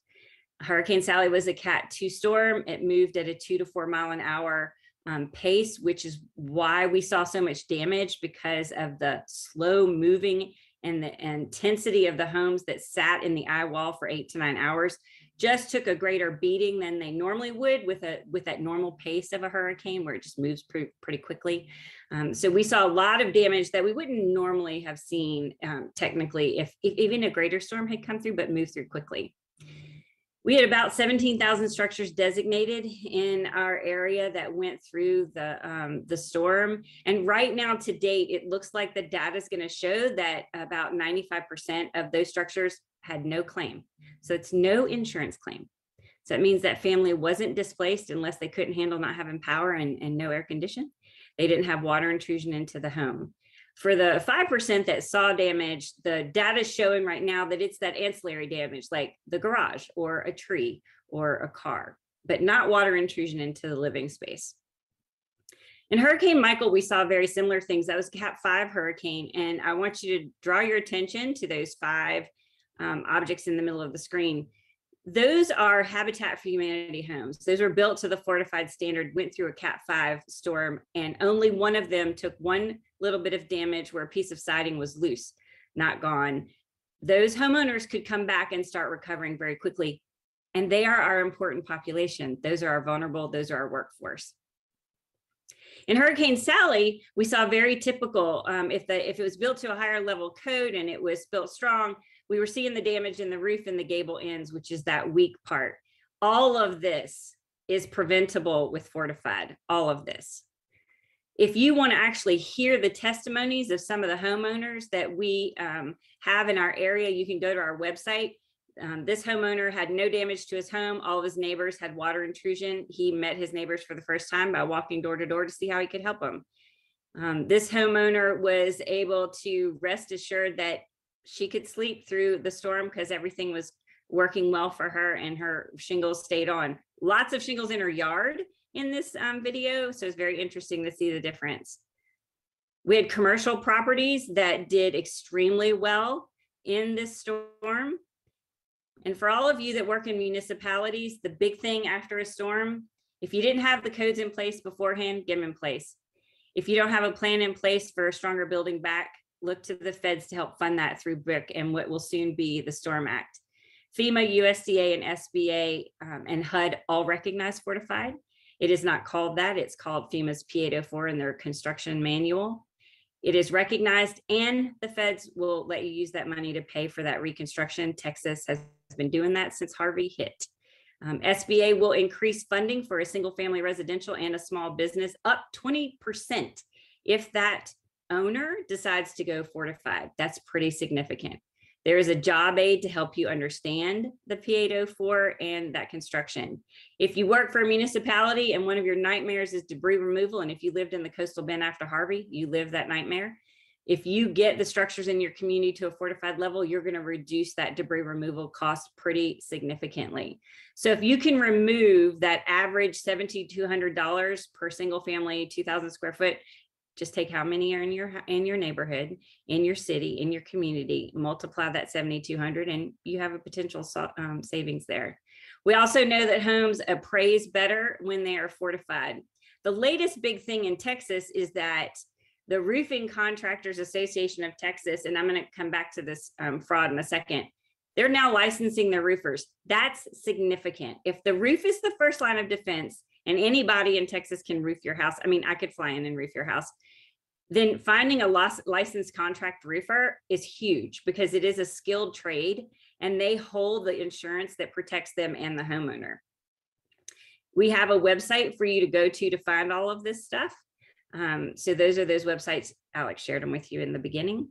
But let's go back to this one, especially if you work for a municipality. If you're a homeowner, it's important and you can get this. But if you work for a municipality or a county, fraud is rampant after disasters. You've all lived this if you've lived through a disaster. And roofing fraud is so very large and present.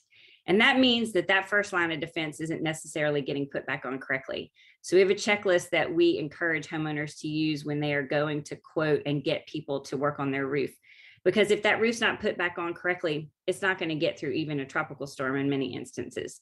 So roofing fraud is really important, especially when they want the homeowner to sign over the insurance benefits to them and they'll handle everything for the homeowner. That's actually illegal. And, and homeowners don't understand this and they don't know it. So I know it's really fast, but I'm trying to keep to time. So again, everything I just shared with you is at our website, smarthomeamerica.org and at the Don't Goof sites. And we'll be here, at, um, Alex and I will answer questions during the answering um, section. So thank you very, very much. All right, excellent. Thank you so much, Alex and Julie. That was great and a little bit different than what you guys presented last time, which was interesting. Um, I am going to put into the chat right now a link to the part one of our webinar, Building Stronger in regards to before a disaster, what communities can do beforehand. And like I said, um, there's some great information about the ICC um, Smart Home America was able to share some of the videos of the research that's done in their state of the art facility, showing you just how these buildings fail, where those um, fail points are. And then um, the GLO has some funding opportunities coming down for communities to help them with planning related um, activities such as updating a plan, but also updating building codes and ordinances and writing them. So there is some funding opportunity coming down possibly at the end of this year, but most likely at the beginning of this that year. So if you watch the link, you'll get information on that. So right now, um, I'm going to put up a um, poll, one of our one last poll, one more question, and then we're going to transition into our Q&A section. So let me launch the poll. And if you could just take a couple of uh, seconds, 30 seconds maybe to, to answer the question, and then we'll get on over to that. Lots of great information, and thank you so much to our panelists for presenting that. And at this time, um, through the poll, I will ask everyone to turn on their video and unmute themselves as we go into that. And again, we're going to leave the Q&A chat box up the whole time. So if you're shy or if you don't want to put your name out there, you can ask questions anonymously. Um, at the end of this, we're going to re-put up everyone's contact information. So if you would like to contact everyone, we will have that for you.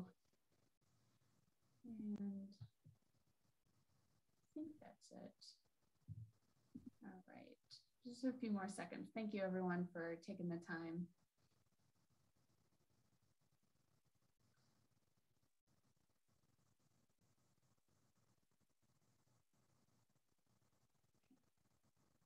Getting some, getting some answers.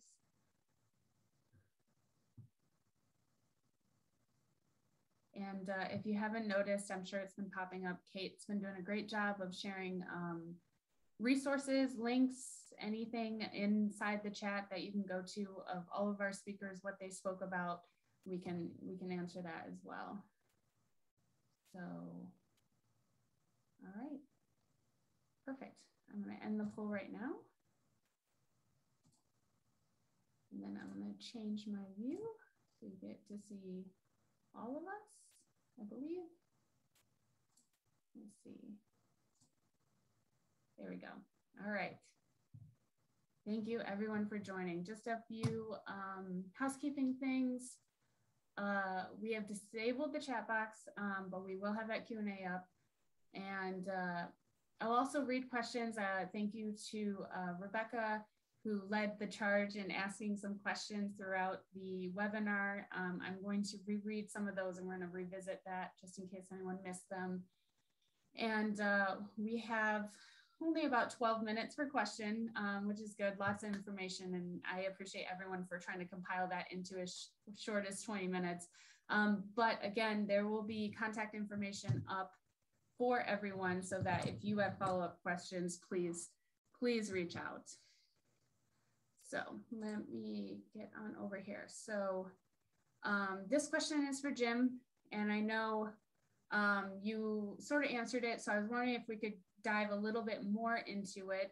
How aware do you think local building code officials and communities are about FEMA public assistance reimbursement for building code and floodplain management enforcement and administration after federally declared disasters with FEMA, PA, permanent work designations?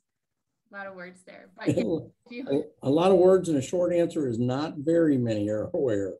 Um, I really think that that is, uh, and I've seen a lot of information on it. I've um, done some brief presentations on it, but I really don't think, well, I think overall, um, local building officials and local code officials are not aware of uh, what their duties are in, in response to a disaster anyway. And then eh, on top of that, being able to find funding to get some of that stuff done, I think they're even less aware of that. Um, I, I really think that it's, I strongly um, am, am, pushing on the national level uh, that local building officials be trained in post-disaster damage assessment and what happens. And to me, part of that is what kind of funding can you get? Yeah. Um, I mean, do you have any suggestions? I mean, I, I know forums like this are helpful to get that information out, but do you have any suggestions as far as how we can better educate people on that? I, I think you really, in Texas, you probably really need to kind of reach out to uh, like the Texas Municipal League uh, that can get uh, information out to those local communities. I know that uh, does a good job with the emergency managers, uh, you know, and kind of getting that information out there.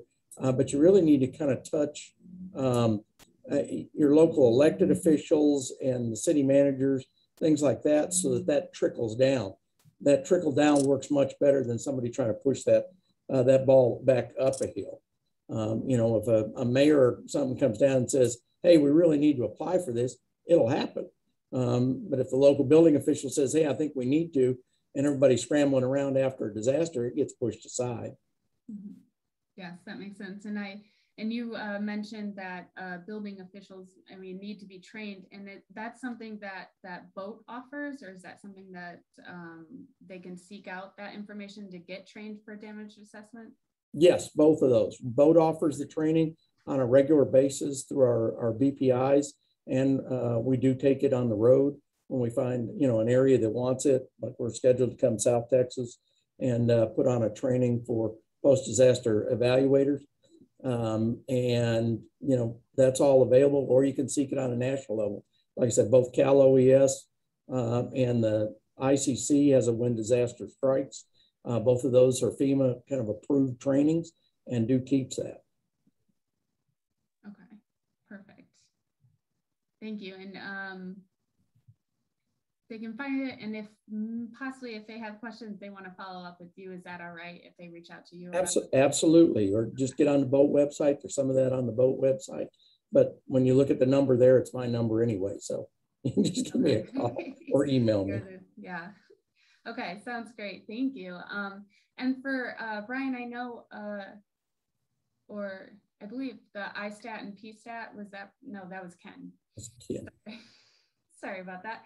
Um, so I know you had covered this in uh, in your presentation, lots of wealth of knowledge, but can you just provide a, a, brief, you know, overview of what is the, you know, major difference between ISTAT and PSTAT and when you should use each?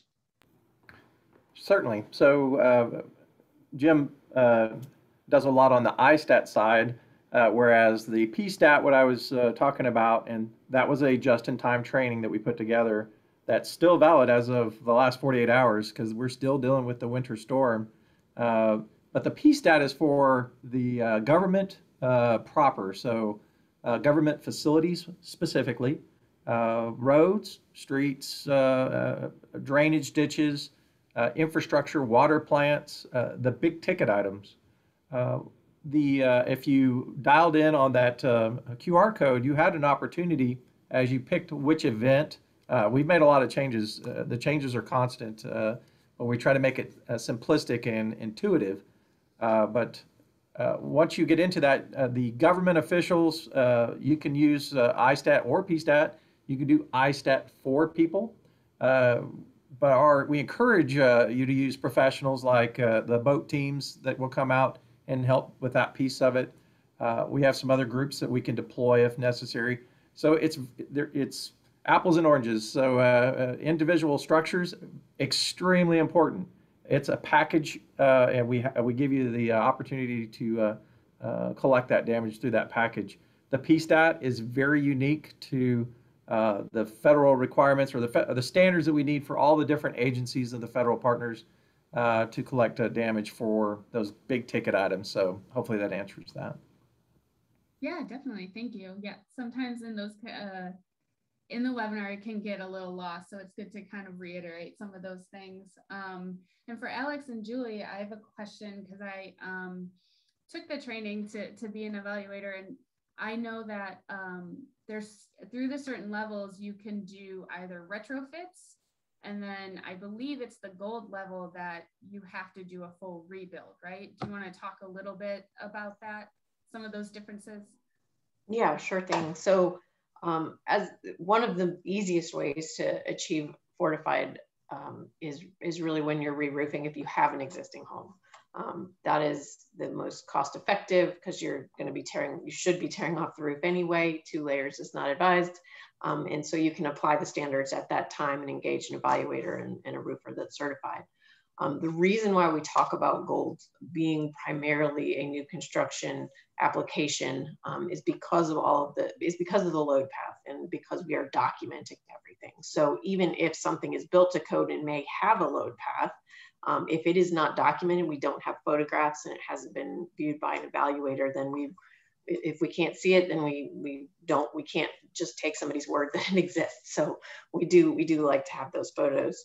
Uh, and we require that an engineer be involved in that. And I know that many places in Texas in the coastal areas, that is something that is already taking place because of some of the, the wind pull requirements. Um, however, in the inland areas, there's there's not a we don't see a lot of engineering, and that would be an, a requirement in, in some of the high wind regions.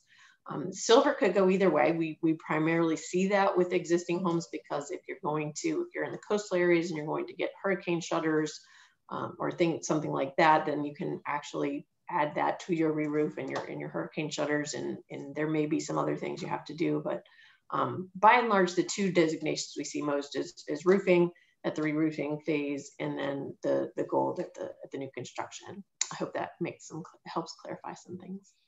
Yeah, yeah, no, that's that's helpful because I think uh, sometimes for that gold standard, people don't realize that those are those are full rebuilds from the bottom yeah. up. So um, it can be done if you're doing this, especially like we did see some interest in that after um, the flooding in Houston because people were gutting anyway. So they decided they wanted to go ahead and move forward. We actually had a nonprofit, um, Team Rubicon did a gold project. And they had an engineer come in and they were able to retrofit using the hurricane straps and the load path. And, and that they did that successfully, but it is it is quite a bigger effort when you're doing it to an existing home for sure. But certainly with Fortify, you know, a little bit more on that front end can really help on that back end and that recovery. You got it. Um, well, I know we're running out of time, so thank you so much. Um, for uh, Brian, I had a, a question. Um, you talking about the damage assessments and um, getting the information in so that we can figure out different declarations and stuff. Um, is there a time frame like is there a cutoff or time frame that people need to get that information in for damage assessments? This could be brian or ken i believe but um, brian yeah.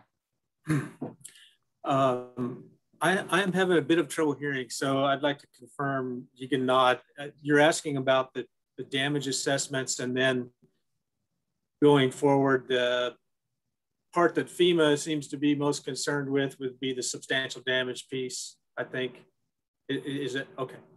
Um, so I was just having a conversation with our uh, branch director about um, we just we're, we just did a lessons learned from the 2020 uh, season, and um, we're currently engaged in some program reviews with some communities around Texas.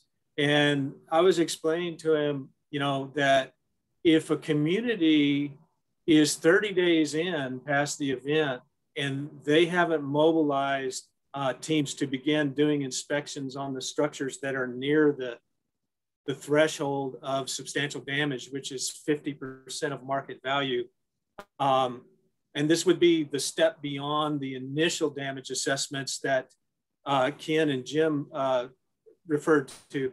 Um, then they're behind the curve.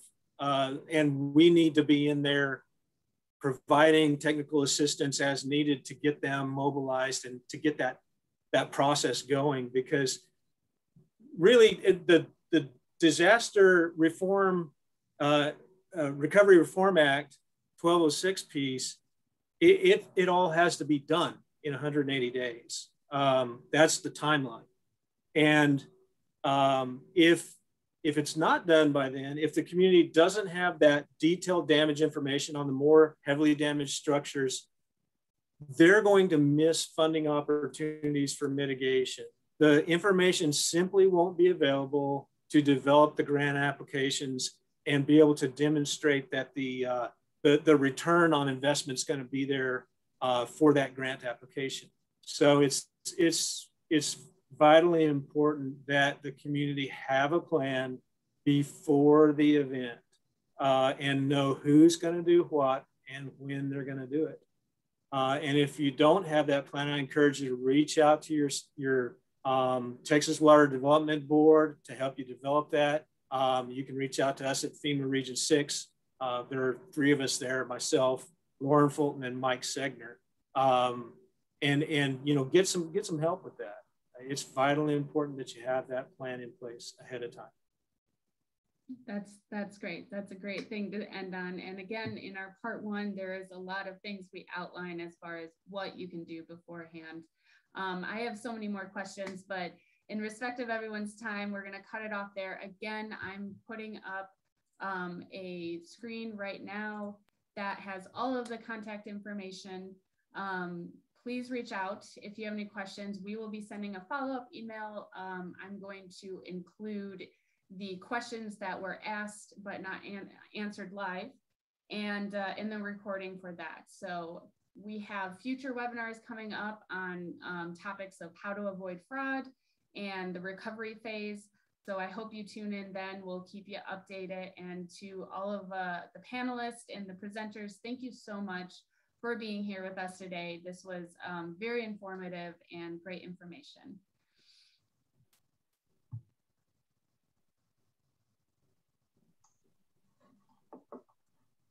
Everybody stay safe. Thank you. Thank you, everybody. It's a great meeting. Very informative. Thanks for joining us.